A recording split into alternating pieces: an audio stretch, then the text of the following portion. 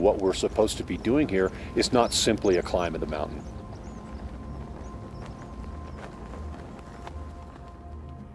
some of the risks that we have to accept coming up here. And The scientific objectives that we're doing here with global climate change are really what define our expedition and will allow us to bring back some information that will be pertinent to everybody on Earth.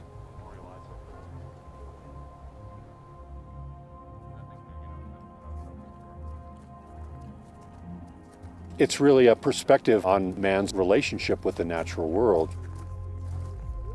And it's critical that we understand that we don't inherit our resources from our ancestors, we borrow it from our children.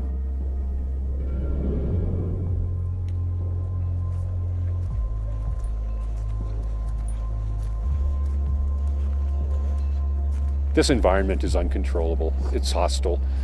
It doesn't care whether we're successful on our expedition, whether we climb it, whether we get our scientific data or not.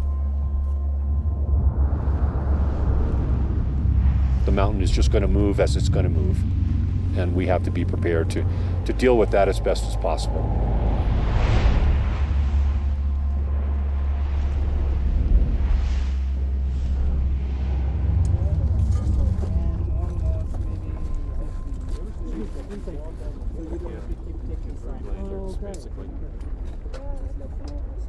The mountain's like a mirror that holds you and your performance up to you.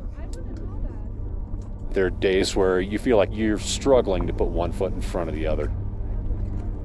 That's the same as it was back in the 1920s, same as it is today.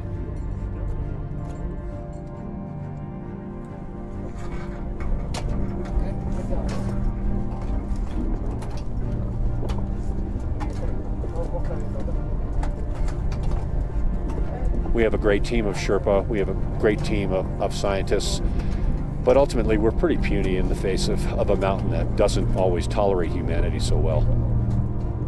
It's really quite a daunting task for our team, but we're up for it.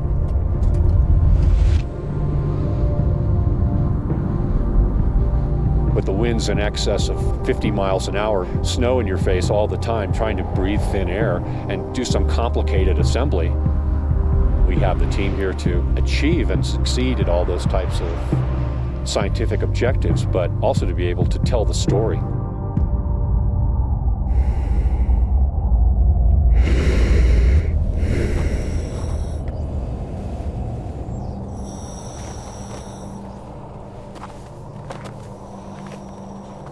What's our 10 year plan? What's our 20 year plan? Where do we need to be to be protecting these places? The story that we can bring back will be incredibly compelling and show what an expedition in 2019 is all about.